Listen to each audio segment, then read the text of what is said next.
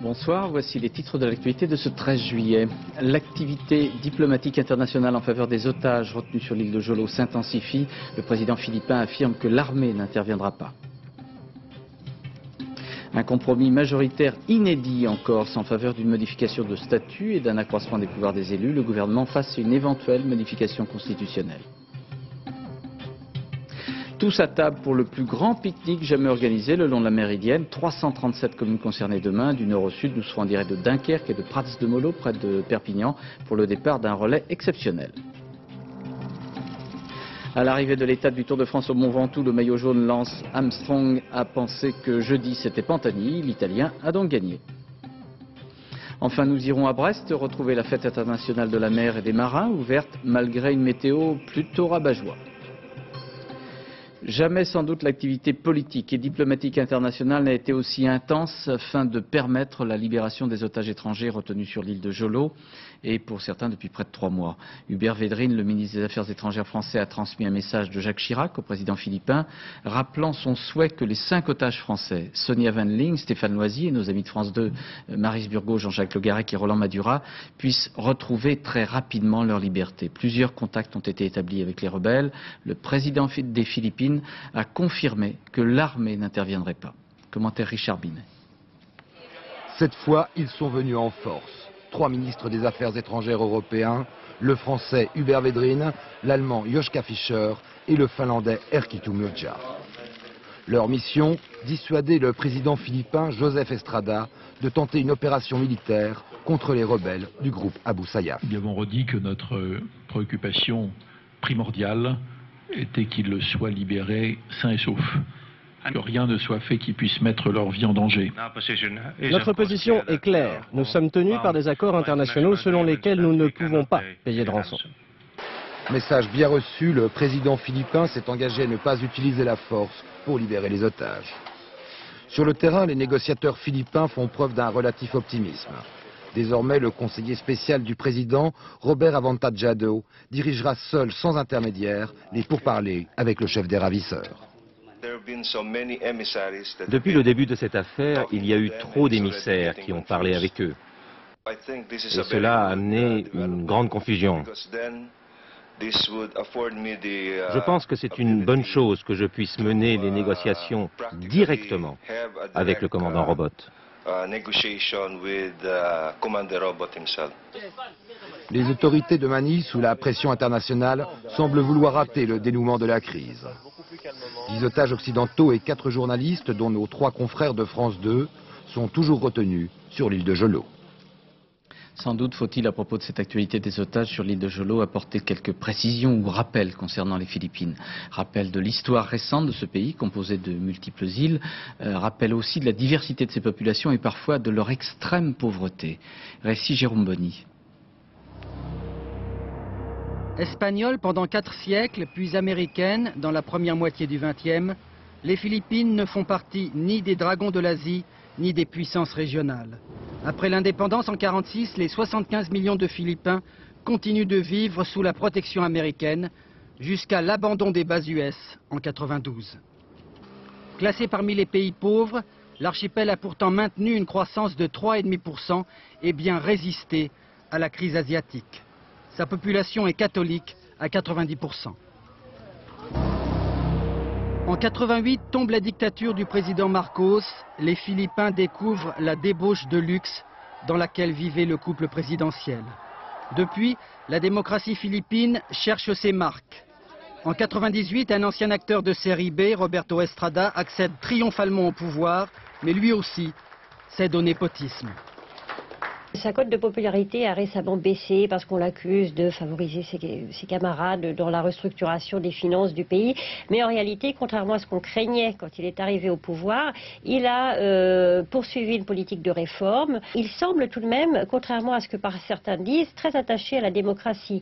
On le voit aussi bien à l'intérieur qu'au euh, niveau international ou au sein des pays d'Asie du Sud-Est. Il est dans le camp de ceux qui sont pour euh, la démocratisation de l'ensemble de la région.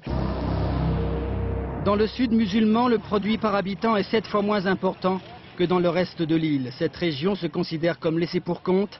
C'est le fief des mouvements indépendantistes. En 96, le président Fidel Ramos fait la paix avec le chef de la guérilla. Ils signent un accord d'autonomie pour certains territoires des îles du Sud. C'est alors qu'apparaît un mouvement dissident, le Front Moro-Islamique de Libération, auquel l'armée philippine fait la guerre totale. Mais la manière forte du président Estrada se heurte à une pratique qui se développe, celle des prises d'otages, nouvelle arme de guerre de groupuscules dont les activités s'apparentent plus au banditisme qu'à l'engagement politique. En Corse, tard hier soir, c'est à une forte majorité que les élus de l'Assemblée territoriale ont demandé au gouvernement de procéder à une révision de la Constitution afin de redéfinir le cadre institutionnel de l'île. C'est un compromis entre tous les élus, y compris les nationalistes, sauf certains radicaux de gauche et communistes, qui semblent presque historiques. Une manière aussi de mettre au pied du mur le gouvernement. Reportage à Ajaccio, Arnaud Boutet, Olivier Robert. Quelques heures après la réunion d'hier, le président de l'Assemblée territoriale de Corse offre l'image d'un homme serein et confiant. Après des mois de division, les élus corses ont réussi à dégager une large majorité. Ils réclament désormais des profonds changements, mais la négociation fut longue et délicate. Chacun s'est dit qu'est-ce qui se passerait si au sortir de cette réunion ce soir, c'était encore un échec comme au mois de mars dernier? Et face à cette réflexion qui aurait conduit tous les observateurs à dire eh bien décidément les Corses ne sont bons à rien, il y a eu un sursaut qui a conduit à ce rassemblement et je crois que c'est vraiment euh, le bon choix. Une collectivité unique avec en son sein des conseillers dotés de nouveaux pouvoirs législatifs. À ces deux propositions, les élus corses ont répondu oui, y compris les nationalistes. Aujourd'hui, c'est une euh, cohésion qui s'est manifestée, même si la position n'est pas unanime, euh, elle est très largement majoritaire et nous avons l'intention de défendre avec la dernière énergie des orientations qui sont celles de la Corse. L'ancien ministre Émile Zuccarelli ne voulait pas aller aussi loin dans les réformes. Avec les élus communistes, il redoute les dérives d'un trop grand pouvoir législatif. Le concept euh, d'encadrement législatif, de, pouvoir législatif encadré, flou. Et à ce moment-là, nous touchons à des problèmes extrêmement sérieux, qui sont ceux de l'indivisibilité de la République et de la nation. On souffrira quand même que sur ce plan-là, nous soyons extrêmement euh, circonspects. Au mois de mars, Lionel Jospin avait demandé aux élus corses de se mettre d'accord. C'est désormais chose faite autour d'un projet qui nécessite une révision de la Constitution et le Premier ministre n'y est pas favorable. jeudi prochain, les élus corses retournent à Matignon et forts de leur nouvelle majorité, ils tenteront d'imposer un nouveau calendrier de réforme. Selon certains, les choses sérieuses vont commencer. Alors sur le continent, on est loin de partager à droite comme à gauche l'avis des élus corses. Pour le mouvement des citoyens, le MDC, cette revendication n'a pas de sens, c'est ce qu'a dit Georges Sarr. Et la direction du RPR, on trouve même cela irresponsable. Manifestement, Gérard Leclerc, les, clivages droite-gauche du continent et de la Corse ont été très rapidement dépassés. Oui, d'autant que tout va très vite. Effectivement, la balle est dans le camp des élus corses lancé hier un ministre. Et eh bien la voilà aujourd'hui revenu dans celui du gouvernement qui lui-même attend avec intérêt ce qu'en dira demain le chef de l'État. Alors Matignon, on peut certes trouver des motifs de satisfaction le processus continue, personne n'a quitté la table. Mieux, un consensus s'est dégagé sur des positions souvent proches de celles du gouvernement en matière de développement ou de langue corse, par exemple. Enfin, les élus insulaires, nationalistes compris, ont évité tout ultimatum. Il n'empêche que deux revendications principales, la suppression des deux départements et le pouvoir législatif encadré, impliquent une révision constitutionnelle que refuse le gouvernement, ne serait-ce que parce qu'il n'y aurait pas de majorité pour la voter. En effet, à gauche et à droite, c'est la polyphonie sur la Corse. Les socialistes sont pour la réforme, mais les chevènementistes férocement contre. Les RPR euh, approuvent à Ajaccio, mais condamnent à Paris. Alors euh, la balle dans un camp, la balle qui revient, je suppose que ça, cogite Oui, absolument, ça cogite dur, vous l'imaginez, à Matignon, où l'on dispose d'une semaine pour analyser les revendications, consulter secrètement et ajuster un compromis qui repousserait, par exemple, les modifications constitutionnelles après 2002. L'Assemblée corse, dans le scénario idéal, pourrait l'entériner, ce compromis, le 26 juillet. En fait, cela risque de prendre plus de temps et le ton va sans doute monter. Nous étions euh, dans le Quatuor à corps, nous serons bientôt dans Berlioz, me disait un négociateur. Espérons que ça ne se terminera pas en symphonie inachevée, ça c'est de Schubert. Merci Gérard. Sur l'accord, sur le quinquennat et tous les autres sujets d'actualité, le président de la République s'exprimera demain, comme à l'habitude, depuis les jardins de l'Élysée, après le défilé sur les Champs-Élysées. Monsieur Chirac sera interrogé par Béatrice Schoenberg, avec Élise Lucet et Patrick Poivre à partir de 13h et en direct sur France 2. Enfin, le Parti socialiste a désigné comme candidat à la mairie de Marseille et donc tête de liste des socialistes marseillais le conseiller général René Olmeta. Cet après-midi au ministère de l'Emploi, les représentants des personnels de l'usine Celatex de Givet dans les Ardennes ont été reçus afin d'examiner euh, l'éventuel reclassement des 153 ouvriers licenciés. L'entreprise est occupée depuis une semaine après sa mise en liquidation judiciaire. Les patrons du MEDEF veulent mettre un terme à la pratique des rémunérations des permanents syndicaux par les caisses de la sécurité sociale. Ils s'appuient pour cela sur un rapport de la Cour des comptes pour tenter d'obliger les syndicats à plus de transparence. Ernest Antoine Sellière demande d'indispensables clarifications euh, pour ces salariés qui sont mis à disposition de l'État ou des organisations syndicales dans une lettre adressée aux dirigeants de la sécurité sociale. Explication avec Émilie Lançon. Célière entretient des relations difficiles avec les syndicats. Cette lettre ne va pas arranger les choses. Une lettre adressée au président de l'organisme qui gère les 160 000 agents de la Sécu. Selon le patron des patrons, l'assurance maladie supporte financièrement des agents qui en réalité n'exercent pas d'activité dans les caisses. Si telle est bien la situation, le MEDEF considère qu'elle est inacceptable et demande une analyse exhaustive de ces affectations pour y mettre un terme au plus tard le 31 décembre 2000. Cette lettre s'appuie sur le rapport de la Cour des comptes qui, à l'automne dernier, épinglait la Caisse primaire d'assurance maladie de Paris. En 1998, sur 4300 agents, 16 travaillaient pour des organisations syndicales et des mutuelles.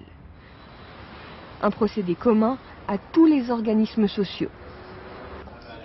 Au-delà des emplois, c'est le problème du financement des syndicats qui se pose propose d'abord d'en débattre, de mettre à plat effectivement les financements qui existent aujourd'hui, de regarder quelles sont les aides publiques qu'on doit stabiliser, dont ont besoin les organisations syndicales, et de regarder objectivement comment les entreprises, elles ont leur place à prendre dans ces financements, mais selon des règles librement négociées, transparentes, et qui arrêtent effectivement certaines pratiques qui ont pu être mises en cause ici et là.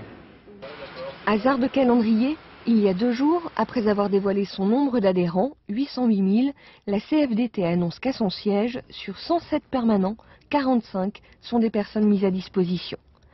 Et Nicole nota d'appeler à une clarification aux côtés des autres centrales syndicales. L'ultimatum lancé par le MEDEF ne lui facilitera pas la tâche. Déboire boursier pour Jean-Marie Messier, le patron de Vivendi. Il a dû renoncer à la dernière minute à introduire en bourse Vivendi Environnement.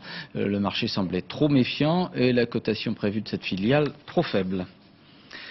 C'est en direct sur une télévision américaine à Philadelphie que des dizaines de policiers ont été observés en train de tabasser un homme qui venait de voler une voiture de police. Le voleur a été frappé après une course-poursuite spectaculaire et de nombreux coups de feu. Ce grave incident, qui en rappelle d'autres, met en cause de nouveau les pratiques policières américaines.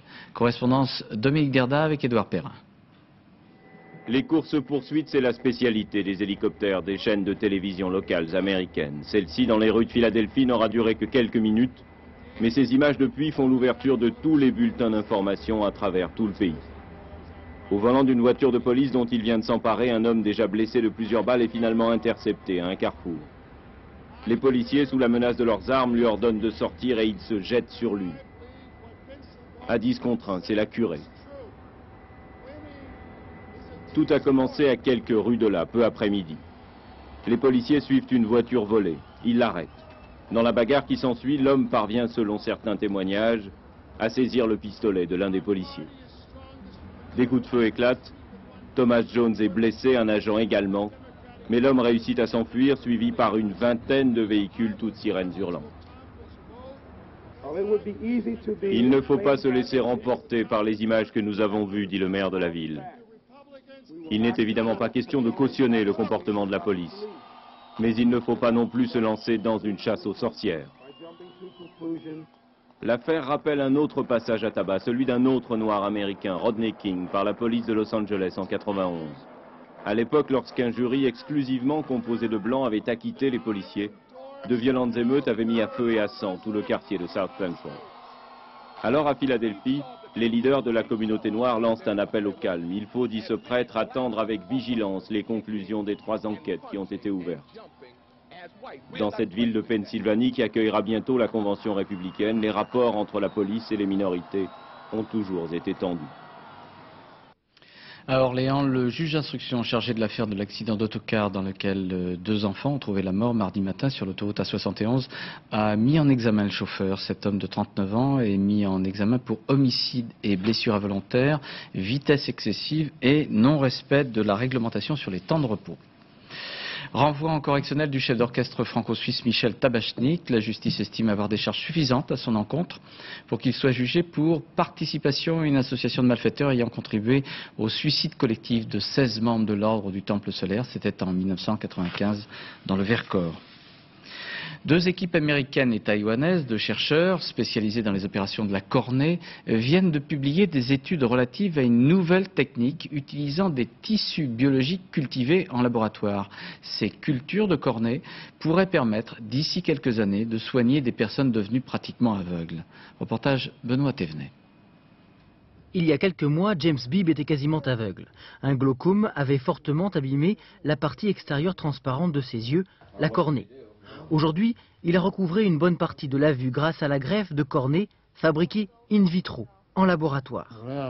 Je peux voir mes enfants comme ils sont réellement et non pas comme à travers un brouillard.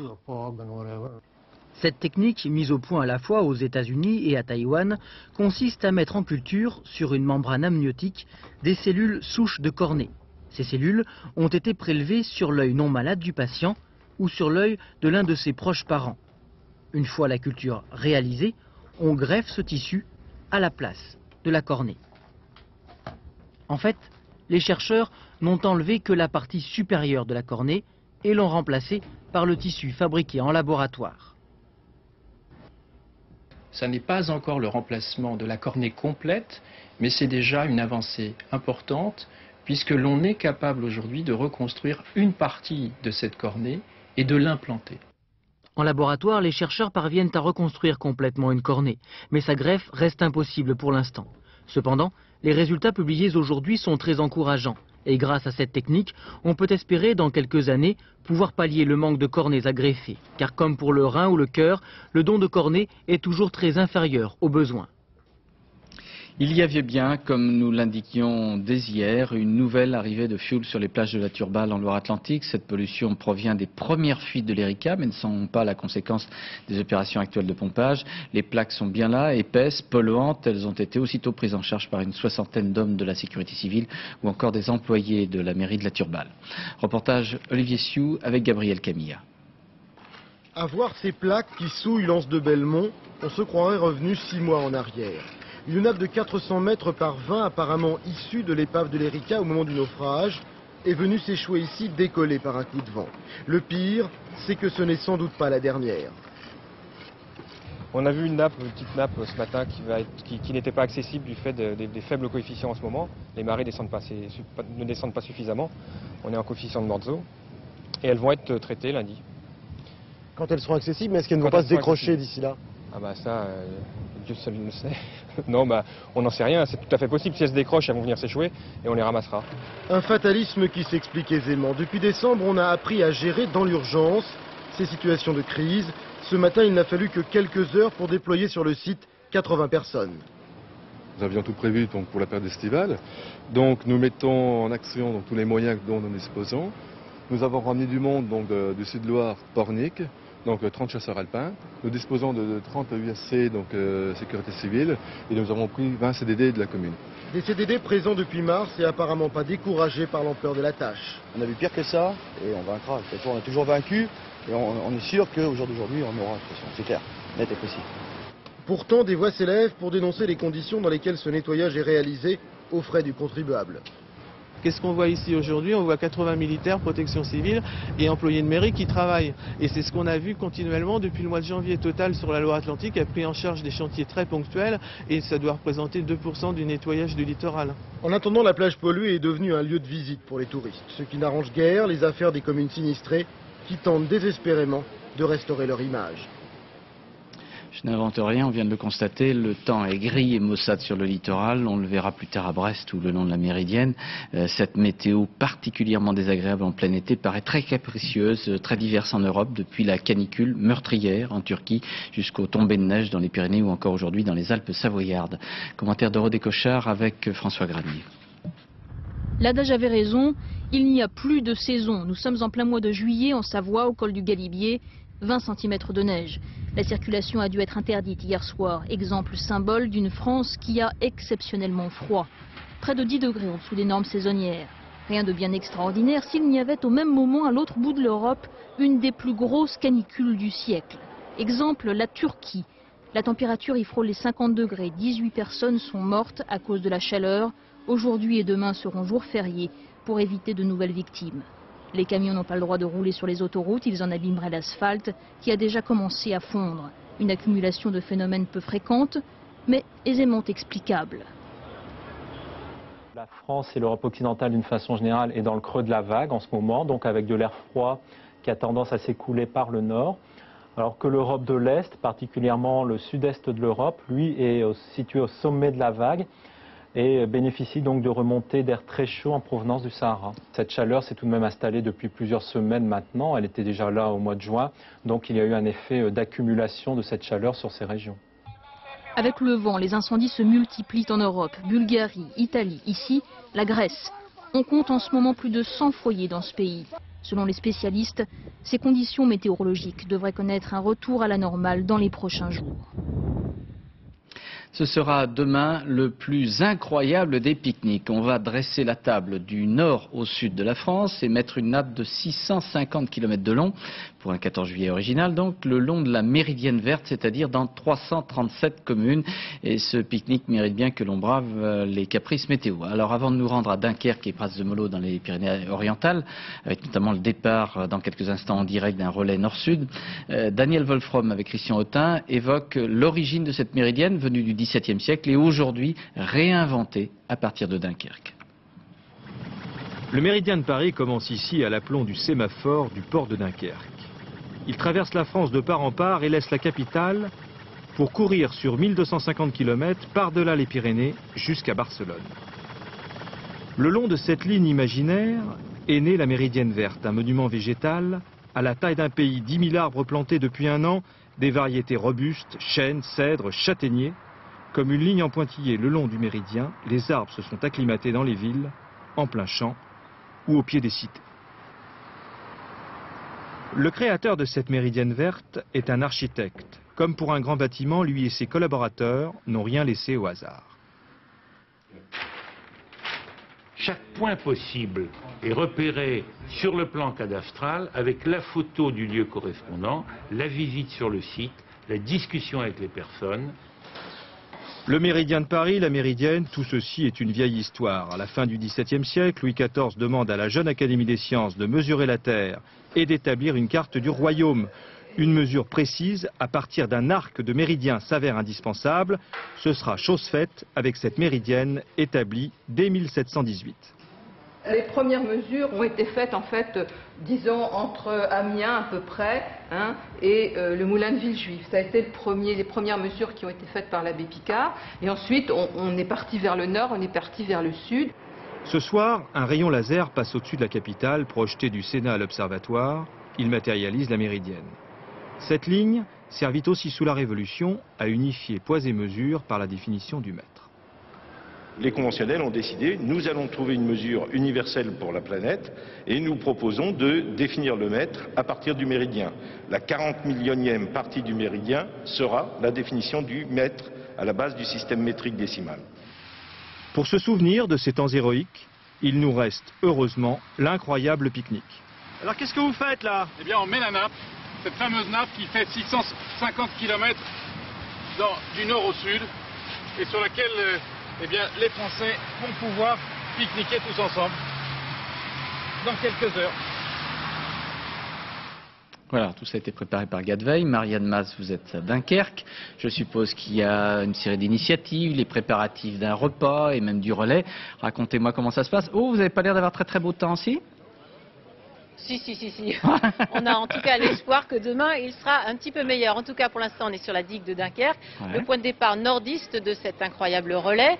Euh, le relais, il est venu tout à l'heure depuis la mer par une yole. Il est maintenant dans les mains d'une association locale de mobilettes qui va s'élancer dans quelques minutes. Dunkerque, c'est aussi donc le point de départ nordiste de cette incroyable nappe de 650 km de long. Dans la région, elle traverse une quarantaine de communes à travers les prés, les champs, les rues, les places de village partout des dizaines d'animations, bien sûr, pour ne citer que quelques-unes. À gamme, le pique-nique du moulin, où l'on pourra manger du pain fait avec la farine du Mmh. meunier. Mmh. À, Clermarais, on prendra de la hauteur avec un pique-nique dans les arbres. Ah bon Et peut-être aussi euh, pique-nique Miss Méridienne, où l'on élira la plus jolie pique-niqueuse de tout le Nord-Pas-de-Calais. La plus Enfin, jolie un petit pique-niqueuse. détail que les Oui, oui, non, non, c'est bien. pique-niqueuse de tout le Nord-Pas-de-Calais.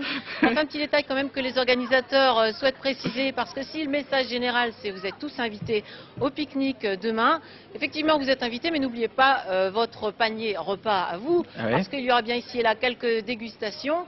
euh, mais peut-être pas suffisamment pour nourrir les 4 millions de bouches qui sont attendues le long de cette méridienne. Enfin, peut-être prenez votre parasol, on ne sait jamais, pour vous abriter soit du soleil, soit de la pluie. Les prévisions météo pour la région ne sont pour l'instant pas très optimistes, Claude.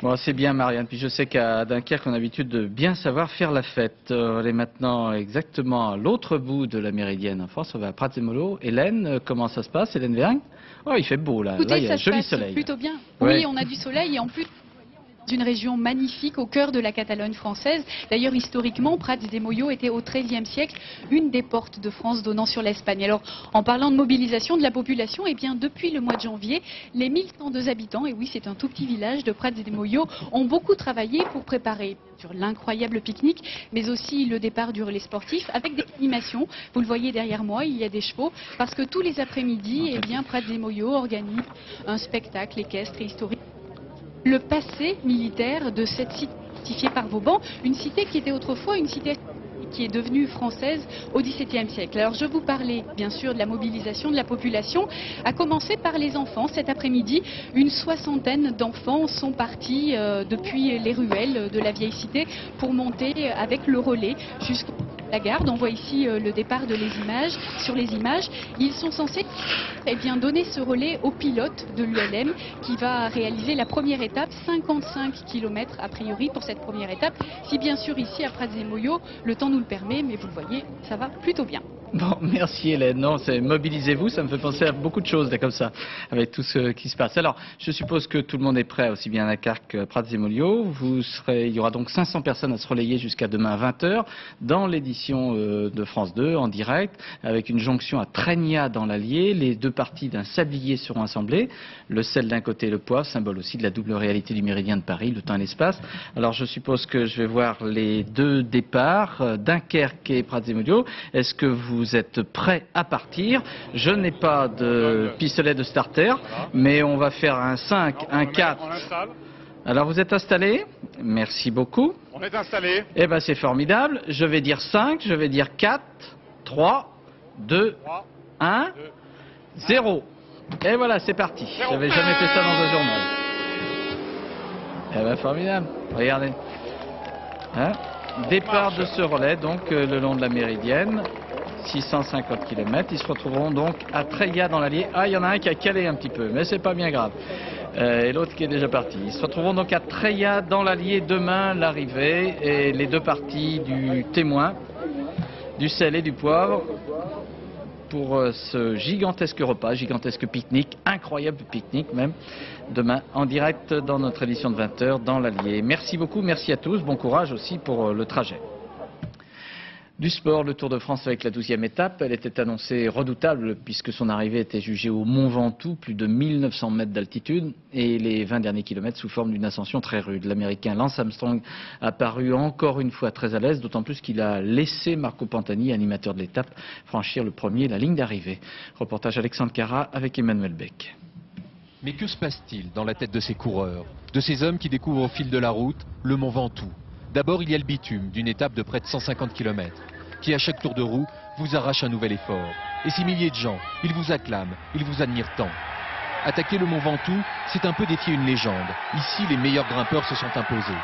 C'est ici aujourd'hui que s'affrontent Armstrong, Pantani ou le riche Virenque. Peut-être alors leur seule pensée est pour la douleur ou pourquoi pas pour la victoire. Peut-être aussi avait-il à l'esprit une image du passé, celle de Tom Simpson, tombé à quelques centaines de mètres du sommet de cette ascension infernale. Il y a 33 ans, jour pour jour, un coureur est mort sur la route du Mont Chauve. Une stèle, pour s'en souvenir, et sa fille Joanne, pour un pèlerinage sans cesse renouvelé. Je suis très émue. Aussi, euh, je me sens assommée par tous ces gens qui sont venus me voir ici, par leur intérêt pour mon père. C'est incroyable, incroyable. Le tour aussi, salut ses martyrs. Quelques fleurs déposées par Bernardino. Et à quelques mètres, Pantani qui s'accroche. Pense-t-il alors à Simpson quand il décide enfin de jouer pour gagner. Pantani qui se bat comme un diable et Armstrong qui semble presque laisser faire. Pantani touche la légende. Il a conquis le Mont Chauve. Le temps d'une étape, il a prouvé qu'il avait autant de volonté que de talent. Une belle victoire pour l'Italien, même si derrière, l'Américain sourit. C'est pas important de remporter cette étape pour moi. C'est dans l'esprit des gens le meilleur grimpeur du monde. Il a fait des attaques. Il a attaqué tout le monde. J'aurais pu partir. J'étais capable de partir. Il méritait la victoire. En regardant passer ses champions, Johan Simpson a sans doute pensé à son père. Près de la stèle, il y a un homme et son fils. Il lui raconte une histoire, vieille de 33 ans, celle d'un coureur qui un 13 juillet a perdu la vie en essayant de vaincre le Mont Ventoux. Il y a 33 ans, tu vois, c'est pas aujourd'hui. Hein.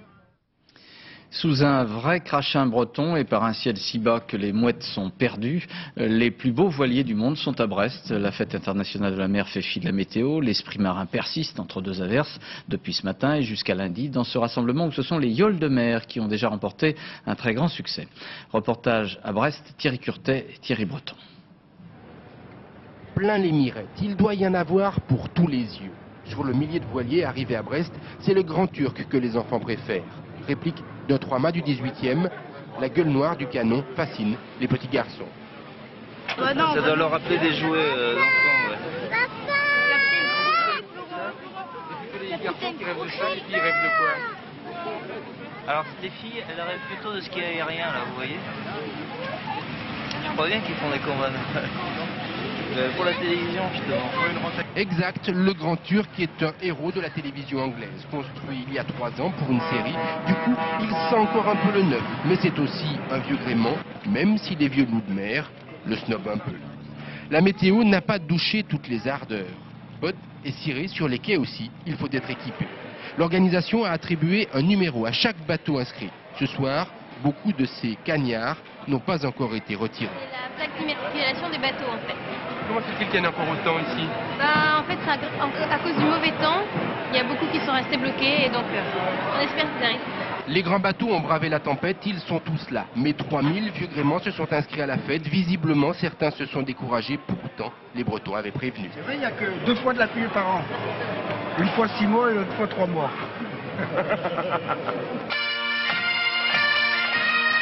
Heureusement, la cornemuse n'est pas soluble dans l'eau. Il faudra toute l'énergie des bagades pour réchauffer l'atmosphère. La dernière rumeur, il paraît que demain, la météo va s'améliorer. Bon, depuis des dizaines d'années, c'est son harmonica que l'on a entendu en compagnie des plus grands chanteurs français. Jean-Jacques Milteau est un harmoniciste hors pair. Il a même eu le privilège d'accompagner Barbara euh, lors de sa dernière tournée. Né dans le 13e arrondissement à Paris, Jean-Jacques Milteau paraît imprégné de rhythm and blues américain.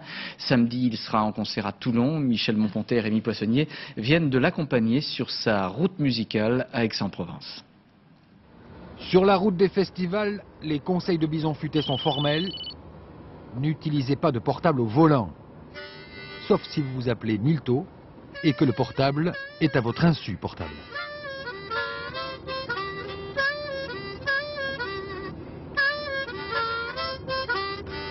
Dans l'histoire de la musique française des 20 dernières années, chaque fois, ou presque, que vous avez entendu derrière une star un grand chorus ou une apparition d'harmonica, vous pouvez être sûr qu'il s'agissait de M. Milto.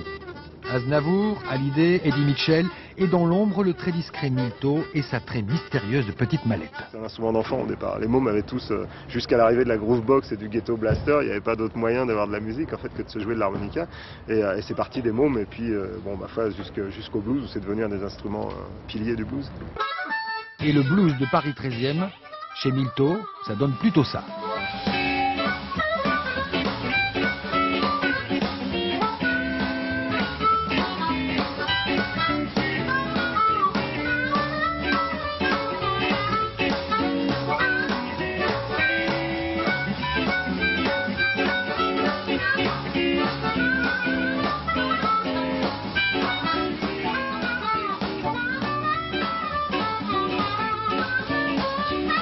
D'un ravitaillement en plein vol ou comment changer d'instrument encore plus vite que son ombre.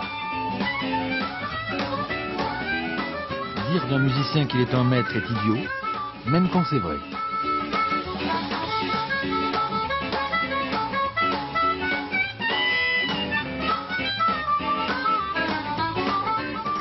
Au festival de jazz d'Aix, Milto triomphe vous verrez qu'un jour, on dira de Johnny Hallyday, qui c'est le type qui chante derrière Milto